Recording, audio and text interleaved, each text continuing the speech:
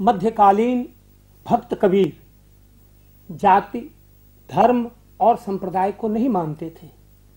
वो इन सब चीज़ों से, दुनियादारी की चीज़ों से बहुत ऊपर थे। कबीर दास कोई पढ़े लिखे किसी विद्यालय और कॉलेज महाविद्यालय में नहीं गए थे, लेकिन उनके पास संत हृदय था। वो प्रभु के अनन्य उपासक थे। वो पत्थर को भी पूजने की मनाही करते थे कि पत्थर को, उपाहन को पूजने से क्या मिल सकता है। मानवीय मूल्यों का आज समाप्तिकरण हो गया है। आज हम लोग किसी के सुख दुख से कुछ नहीं लेते देते हैं। किसी को कष्ट में कराते हुए छोड़कर हम भाग जाते हैं। लेकिन कबीरदास नहीं, कबीरदास मानवीय मूल्यों में जीते थे। यह उनके दोहों से भी परिलक्षित होता है और ज्ञान मिलता है। कबीरदास किसी भाषा के अधीन नहीं थे। वो सधुकड़ी थे सा, साधु मिजाज के व्यक्ति थे संत थे और महान संत थे क्योंकि कबीर ने अपने गीतों में न तो स्वयं लिखा गीतों को और न ही किसी से लिखवाया। वो तो गाते थे मस्ती में झूम कर गाते थे फलस्वरूप बाद में जोड़ तोड़कर लिखने के कारण कहीं उनके दोहों में अवधि भाषा का प्रयोग कहीं उनकी कविताओं में ब्रज भाषा का प्रयोग तो कहीं खड़ी हिंदी या हिंदी या कहीं कहीं सधुकड़ी भाषा का प्रयोग का दिग्दर्शन होता है। कबीर दास जी फक्कड़ थे। उनको किसी की परवाह नहीं थी। वो राम को भी उतना ही मानते थे, रहीम को भी उतना ही मानते थे।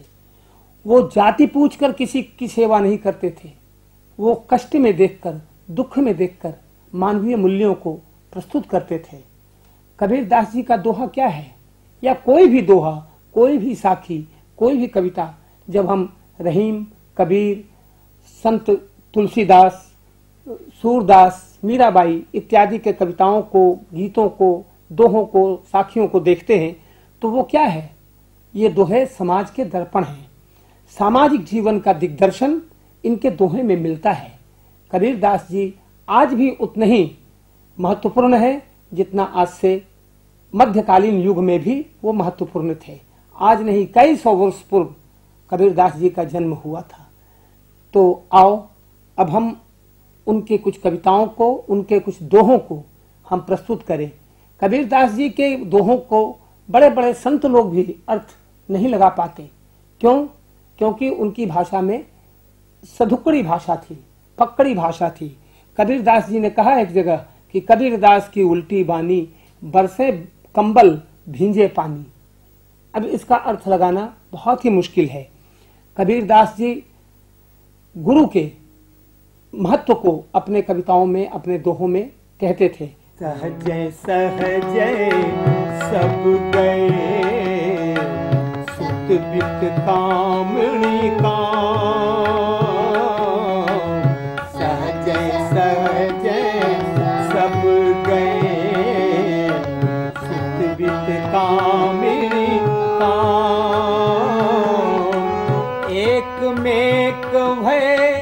मिल रहा। एक मेक भय मिल रहा। दास कबीरा राम कबीरा, दास कबीरा राम कबीरा, दास कबीरा राम कबीरा, दास कबीरा सहज सहज ही पुत्र, सुत, धन अर्थात दौलत और स्त्री अर्थात पत्नी और कामना, ये सब नष्ट हो गए। सहज सहज कहते ही कहते ही, सहज सहज में ही सब चले जाते हैं। लेकिन दास कबीर दास जी ने कहा है कि राम के साथ घुल मिलकर एक हो जाना ही सबसे बड़ा सहज है। कबीर दास जी यहाँ क्या कहते हैं? बच्चों, समझ रहे हो?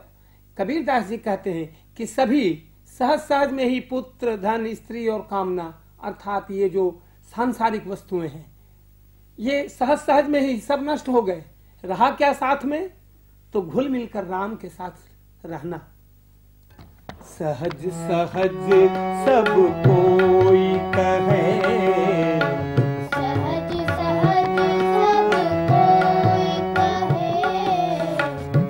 भजन चीन्हे को।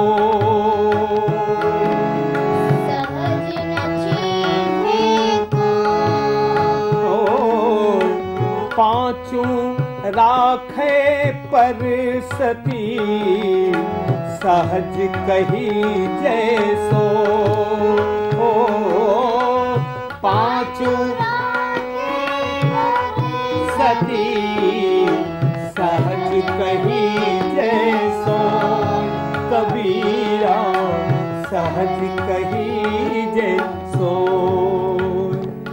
पाँचों क्या रखने को कह रहे हैं? संत कबीर क्या कह रहे हैं? ये पाँच क्या हैं? ये पाँचों इंद्रियाँ जिनके वश में हो गया। वही सहज है। कितना बढ़िया भाव है। कबीर दास जी ने कितनी अच्छी पंक्ति कही है कि सभी सहज सहज कहते हैं, परंतु सहज है क्या? इसे कोई नहीं चिंता। चिंता मतलब अर्थ है पहचानता। चिन्हना मतलब पहचानना।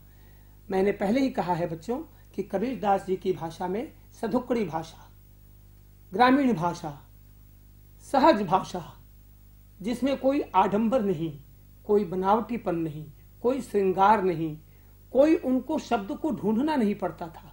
कबीर दास जी के मन में जो आता था, वह एक स्वरूप ग्रहण कर लेता था। इतने महान कवि थे हमारे संत कबीर। तो सहज सहज सभी कहते हैं, परंतु सहज है क्या? इसे कोई नहीं पहचानता।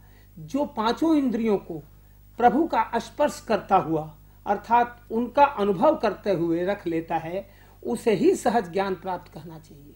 कितनी बढ़िया पंक्ति कही है, कबीरदास जी ने। यह सब झूठी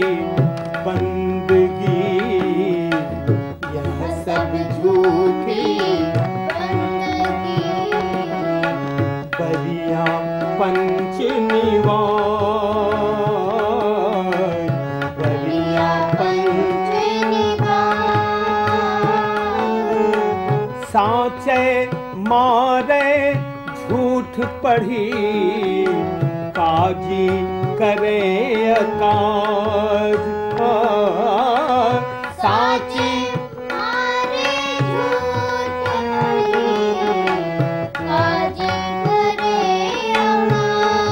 कबीरा काजी करे अकाज।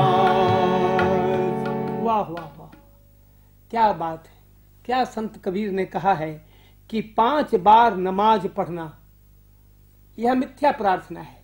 मैंने पूर्व में भी कहा है कि पत्थर को पूजने को, पाहन को पूजने को भी कबीरदास जी नहीं मानते थे। वो आडंबर को नहीं मानते थे। वो दिखावेपन को नहीं मानते थे। वो श्रृंगार को नहीं मानते थे। वो सजावट को नहीं मानते थे। वह सहज स्वरूप में ही सब कुछ देखना चाहते थे। तो यहाँ यहाँ कबीरदास जी कहते हैं कि पाँच बार नमाज़ पढ़ना, यह सब मिथ्या प्रार्थना है। जबकि काजी मिथ्या आयते पढ़ के सत्य की हत्या करता है, इस प्रकार अपनी हानि करता है। अपना ही वो बिगाड़ता है, अपना ही वो नष्ट करता है। कबीर काजी स्वादी बसी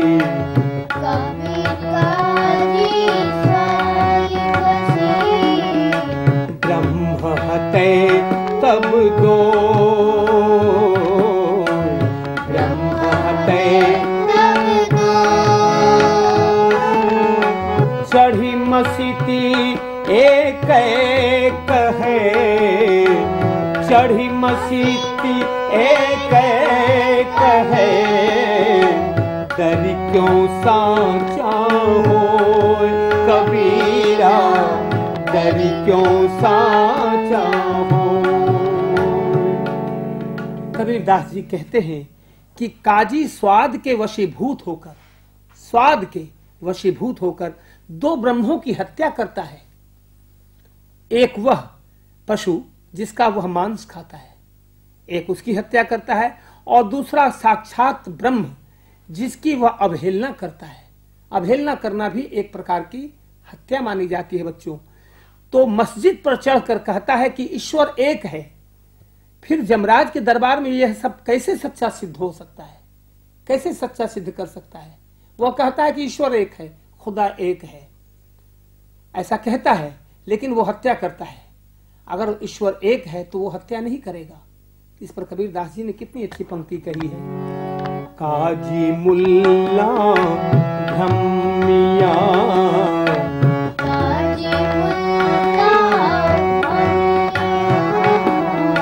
चल्या दुनी कैसा?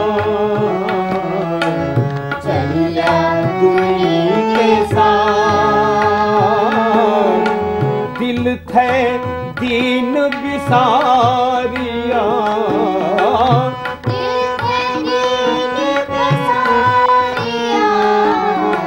कर दिलई जब हाथ कबीरा। कर दिलई जब हाथ कबीरा। कर दिलई जब हाथ कबीरा